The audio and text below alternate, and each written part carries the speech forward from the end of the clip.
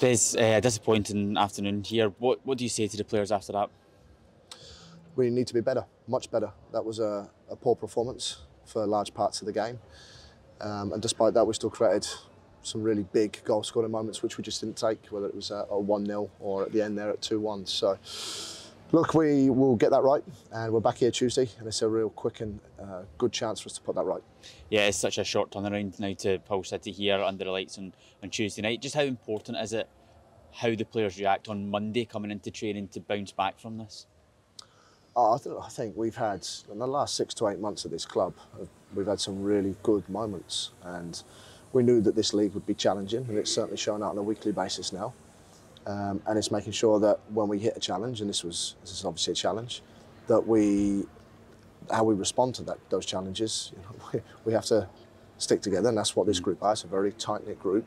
But we have to be very clear on what we're doing and how we're doing. We stick to that. We trust that. We know that, um, and that's got us where we are. So Monday it'll be down to turning up, making sure that we respond the same way that I know this group will to get ready for what will be a very good game here on Tuesday night. Yeah, how important is that that we don't lose sight of the perspective this season? We always knew it was going to be a challenging league. There'd be highs and lows. A run where we win a lot, a run where we don't win as many as well. So how important is that that we just stick true to to what we've set out as a group?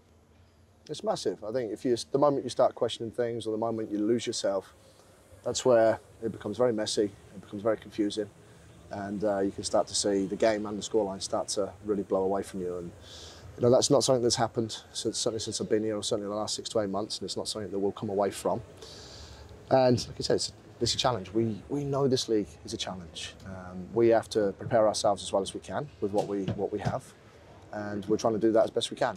And it's making sure then that when we play, that we believe that we're good enough to play, and we, we believe that we're good enough to challenge and uh, take points and performances at this level. And then it does lead us into to Tuesday night. Sometimes in a situation like this, is, is it the best thing just to, to get back on the horse and come back out here under the lights in front of our home supporters? Yeah, it will be. That's three days away. Uh, I can't wait. I can't wait to get in tomorrow. I can't wait to get in Monday. Uh, and I can't wait for Tuesday night to be back here and uh, put on a much better and improved performance and something that this home crowd has become used to seeing. Perfect. Thank you. Thank you.